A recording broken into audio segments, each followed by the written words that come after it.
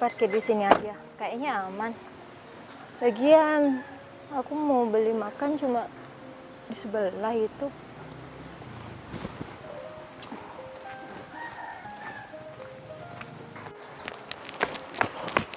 Waduh, ini udah jam berapa ya?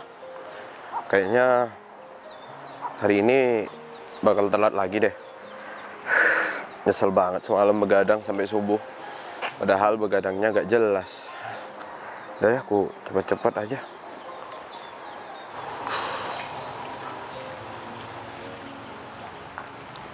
Coba aja motor gak mogok.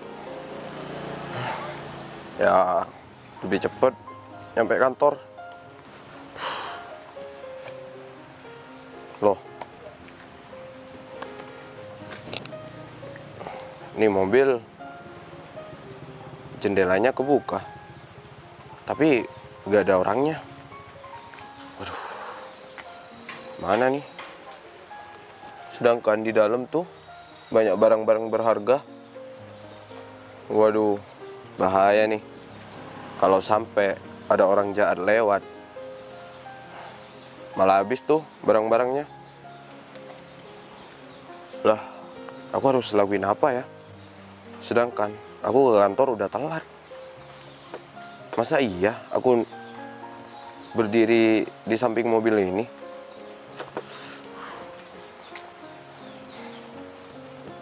Tapi ya udah deh. Gak apa-apa. Daripada barang-barangnya tuh hilang. Lagian, bos aku nggak kira marah kalau aku telat.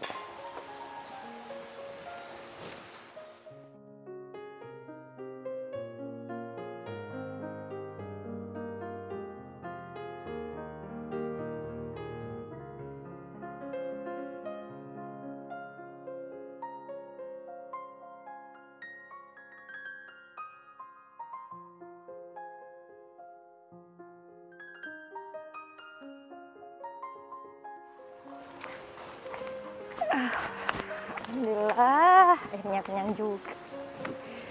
Hmm. Oh, itu siapa? Pakai seragam satpam.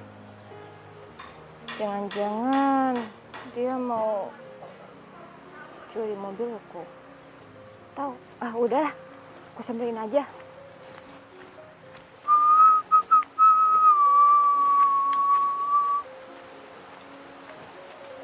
Eh, mbak, mbak, mbak, mbak, mbak, mbak, mbak. Loh, apa-apaan ini? Mbak mau mana?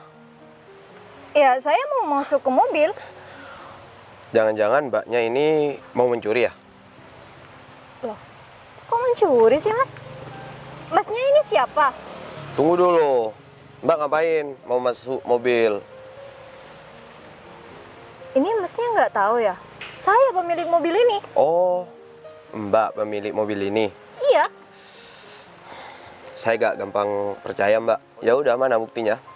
Masnya nggak percaya? Iya.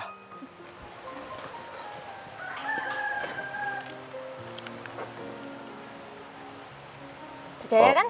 Oh iya mbak, udah percaya. Ya udah silakan mbak.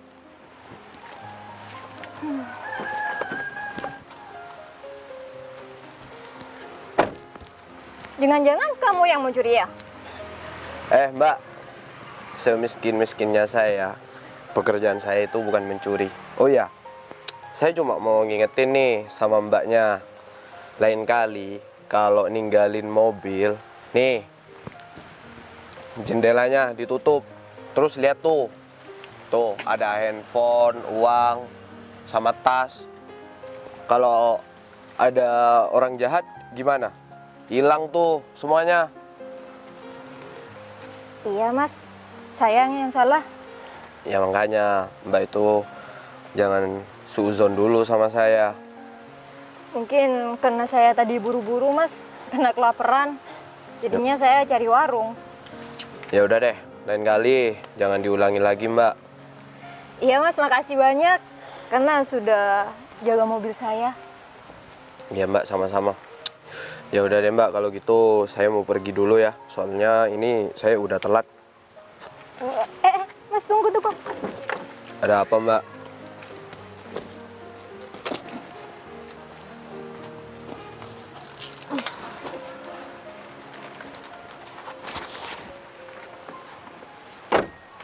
Eh, ini buat emasnya. Udah. Simpen aja, Mbak. Bukannya saya sok-sokan nggak butuh, tapi saya nolongin Mbaknya itu ikhlas. Ya udah deh mbak, saya nggak mau berlama-lama di sini. Saya harus pergi dulu. Tapi saya ini ikhlas mas. Udah udah mbak, udah. Mbak lanjut aja dulu. Saya permisi ya. Assalamualaikum. Waalaikumsalam. Ya Allah, alhamdulillah. Si ada orang baik masa-masa sekarang ini.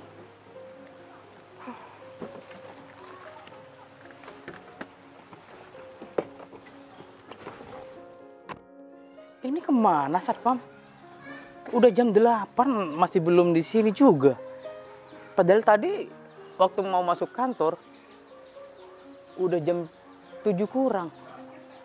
Masih gak ada. Gimana sih? Niat kerja apa enggak nih Satpam nih?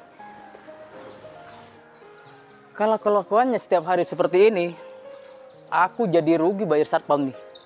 Apa mungkin setiap hari datangnya telat begini?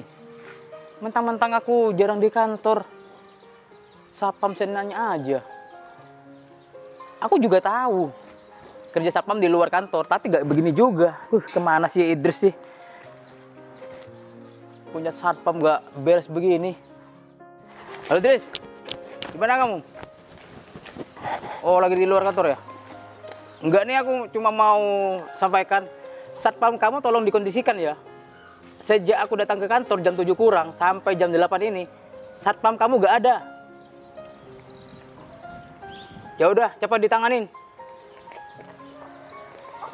Selamat pagi bos. Pagi. Eh, kamu dari mana aja? Gini bos. Barusan saya lagi nolong orang bos. Alah, alasan aja. Saya datang ke sini tadi jam 7 kurang dan sekarang sudah jam 8 lewat. Kamu baru datang. Siap bos. Saya sadar dengan kesalahan saya bos.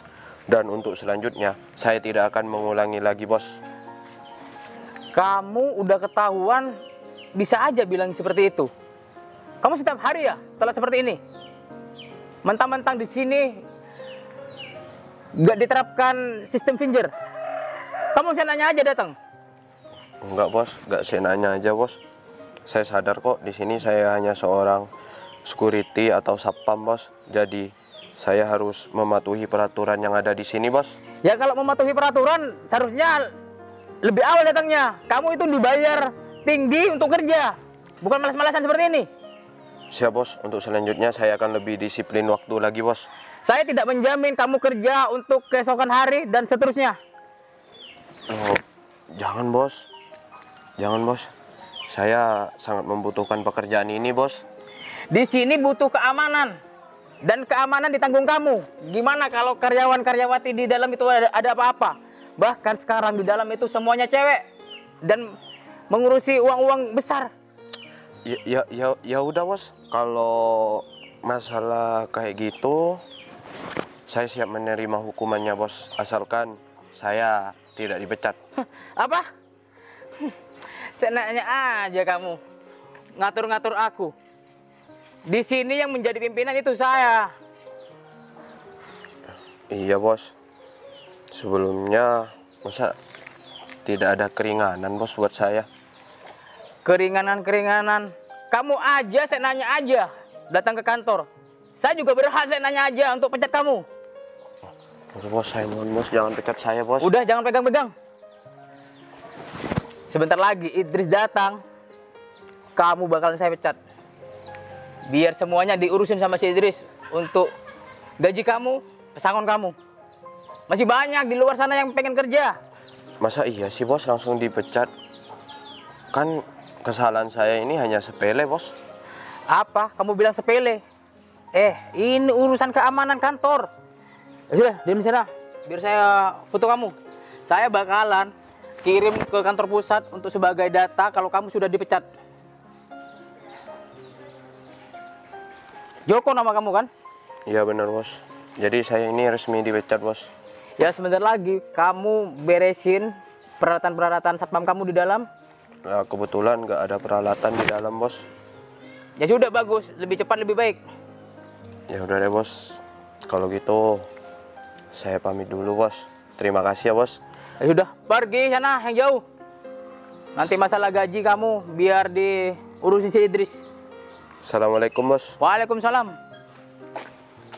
Dasar satpam kerjanya gak beres pagi-pagi udah bikin emosi.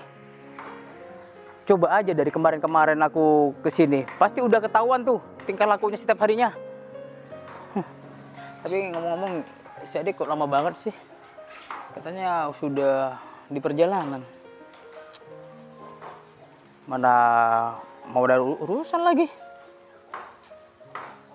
Udah, mungkin lagi nyetir di jalan. Padahal udah bahagia, aku dapat pekerjaan. Eh, malah dipecat. Waduh, aku harus kerja apa sekarang? Sedangkan pendidikanku hanya SMA. Apa aku harus merantau lagi ya? Tapi jangan deh, kasihan keluarga.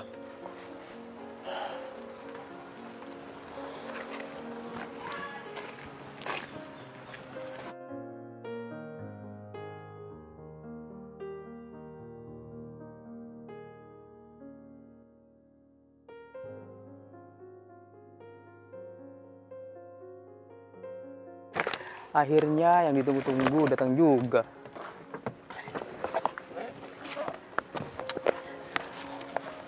Kok lama banget sih, Dik? Eh, iya maaf kak, tadi saya masih beli makan, soalnya lapar banget. Oh, kakak dari tadi nungguin di sini. Oh iya kak, saya Kakak kira adik ke mana? eh, saya tadi hampir ada musibah kak. Emangnya kenapa sih? Musibah apa? Eh, saya lupa kak tutup jendela mobil, tapi untung ada orang baik. Tapi gak ada yang hilang kan di dalam mobil bareng-bareng kamu? Alhamdulillah nggak ada kak. Ya orang baik itu yang nolongin saya. Oh, tadi mobilnya diparkir di jalan. Terus Iya. ada yang jagain gitu maksudnya? Iya, Terus kamu gak kasih upah tuh yang jagain? ya itu kak. Saya kan mau ngasih upah, tapi orangnya nggak mau. Waduh, baik banget ya orang itu ya. Iya, Kamu harus hati-hati ke depannya. iya kak. Nggak Dan mau hari ini- lagi.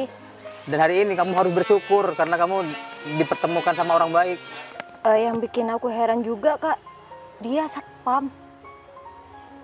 Satpam yang jagain mobil kamu. Iya, Aduh, baik banget tuh satpam. Coba aja kalau aku ketemu sama dia, pasti aku suruh kerja di sini. Aduh, kalau satpam yang di kantor kakak ini udah datangnya telat terus, kerjanya gak beres. nggak disiplin maksudnya kakak. Ya seperti itulah. Eh, adik gak coba minta kontak teleponnya? Ya nggak sempet sih kak, katanya sih dia buru-buru. Kalau adik punya kontak nomornya, kakak berani tuh ngajuin pekerjaan sama dia. Bahkan kakak kasih gaji besar. Soalnya apa? Dia jujur orangnya. Iya bener banget itu kak. Ya udah sini. Oh iya nih, Ini yang di rumah dibawa semua kan? iya sudah. Ya udah bagus. Sebentar lagi adik mau mana nih? Eh, nggak ada sih kak. Ya udah, jangan ke mana-mana, di rumah aja. Iya. Kayaknya mau hujan nih. Iya, kakak juga masih nunggu teman. Oh ya dik, misal besok-besok adik ketemu sama satpam itu lagi, gak pangling kan? Atau adik inget nih ciri-cirinya seperti apa? Iya iya iya inget kak. Dia tuh tinggi orangnya, terus punya kumis tipis, terus kulitnya sawo-sawo mateng gitu. Kok ciri-cirinya persis sama si Joko ya? Joko kak. Eh, ini bukan. Mana?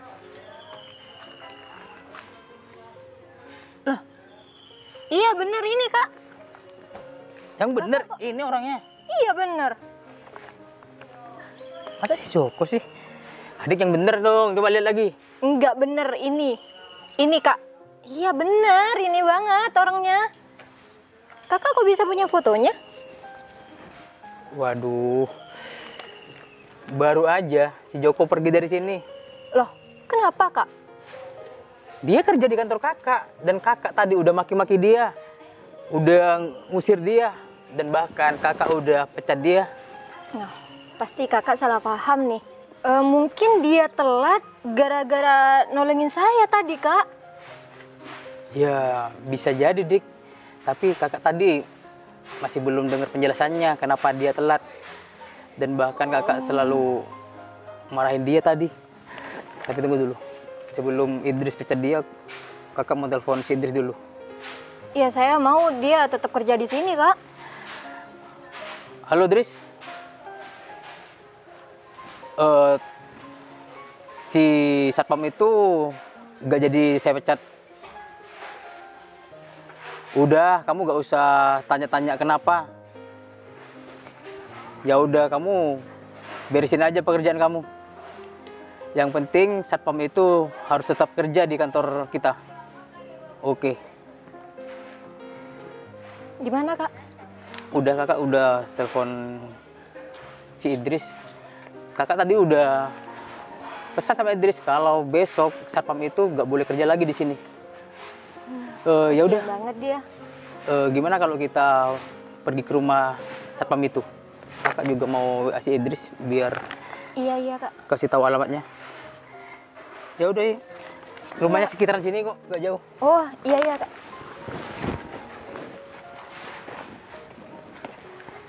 Duh, panas banget lagi. Iya, di mana sih, Kak, rumahnya? Kalau ke arah stasi Idris di jalan ini, di gang ini, Eh, apa mungkin rumah yang itu? Katanya sih di depan cat warna biru. Yaudah yuk kita Iya. coba ke sana.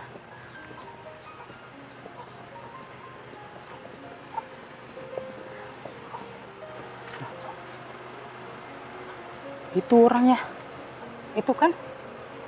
iya, benar itu, Kak. Ya udah, cepet kita samperin yuk.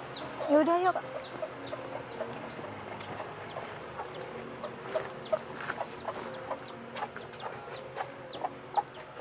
Loh, oh, bos kok ke sini? Memangnya ada apa lagi, bos? Ini rumah kamu. Iya, bos. Rumah saya, bos. Kasihan rumahnya ya, Kak. Iya dik, kalau dilihat dari rumahnya kasihan banget. Kakak nyesel tadi udah maki-maki dia. Iya. Eh, Terus, ini istri bos. Oh bukan, ini adik kandung aku. Ternyata yang tadi ya, Mbak. iya, bener, Mas. Eh, kedatangan aku ke sini, aku mau ngucapin terima kasih sama kamu. Tadi aku sudah dengar semua cerita dari adik aku, kalau kamu udah jagain mobil dan juga barang-barang yang ada di dalam mobil adik aku. Iya, bos. Saya menolong adik bos ini ikhlas kok. dan ternyata kamu telah datang ke kantor itu alasannya tanpa tadi aku juga mendengarkan penjelasan lebih lengkapnya dari kamu Ya udah deh, bos. Lupain aja masalah tadi. Saya sudah ikhlas kok dipecat dari kantor bos. saya datang ke sini bukan untuk memecat kamu bahkan kedatangan saya ke sini ingin menarik kembali omongan saya yang tadi yang sudah saya ucapkan Jadi saya gak jadi dipecat, bos. Ya seperti itu. Saya akan memperkerjakan kamu dan akan menggaji kamu lebih tinggi lagi. Karena apa? Kamu orangnya jujur. Alhamdulillah kalau gitu, bos. Saya sangat membutuhkan pekerjaan ini, bos. Untuk biaya berobat ibu saya, bos. Iya iya iya. Dan sekali lagi saya minta maaf ya atas ketidaknyamanan hati kamu tadi. Mungkin dari kata-kata saya sudah tidak baik. Ya udah deh, bos. Lupain aja. Em, kamu sekarang balik lagi ke kantor ya. Saya tadi udah telepon Idris. Siap, bos. Eh, ya udah kalau gitu saya masih ada urusan. Kamu langsung balik ke kantor ya. Iya, bos. Tapi saya mau ngasih ibu obat dulu ya, bos. Oh ya udah, silahkan. Tapi saya langsung pergi ya. Iya, bos. Eh, sekali lagi, tolong jadi satpam yang jujur, bijaksana, juga disiplin ya. Siap, bos. Oke, makasih ya. Sampai jumpa di kantor. Siap bos, hati-hati di jalan bos. Hati-hati mbak. Iya. Assalamualaikum. Waalaikumsalam.